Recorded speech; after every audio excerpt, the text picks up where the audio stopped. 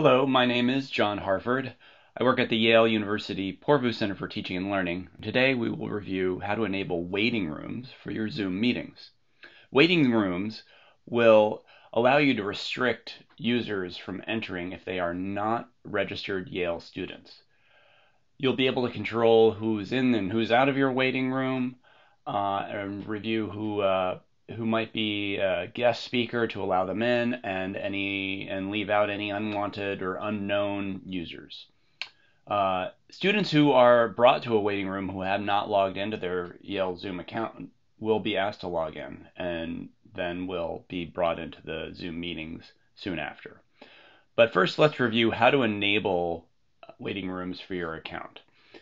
First, you want to navigate to yale.zoom.us and sign in. Click on Settings.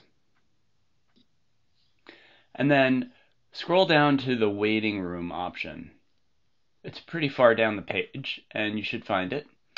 Um, under waiting room, you might find it switched off uh, by default. So just uh, throw this toggle on, and you'll be given some options.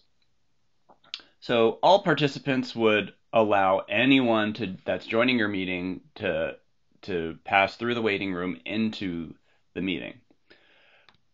You're probably after screening who is actually coming into your meeting and who is not. So guest participant only is the appropriate choice.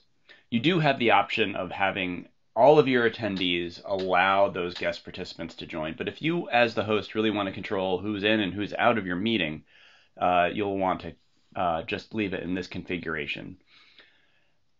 So in this case, again, uh, anyone logged in with a Yale account will join the meeting. Any external users who have not logged in will be left in the waiting room uh, for your review upon before joining. So now that you have this selected, you may need to save. Click Save, and we will now go to uh, Scheduling. Navigate to your Canvas course and go to the Zoom uh, tool on the left-hand nav and select Schedule Recording.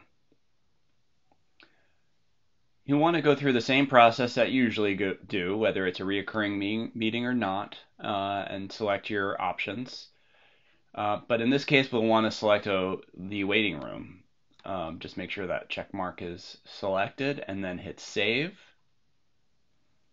And now you have your Zoom room ready to go. I'm going to start this meeting and then I'm going to simulate what it might look like for you as the host.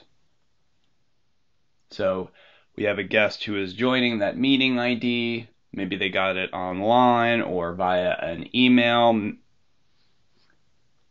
Okay, so this is good. We, we've got uh, in our manage participants window, we see a guest is, uh, has entered the waiting room uh, for this uh, for this meeting. So let's see the waiting room here. We've got this guest here, and um, there's no name on it, so uh, we don't know who that person is. We could remove it. Uh, if we knew that someone was coming and they didn't have an account, uh, we could admit them as well. So if I do that, then they are then brought into the meeting. Um, uh, if we're still unsure or we don't know who it is, we could remove them from the meeting altogether, or we could put them back in the, the waiting room if we so wish.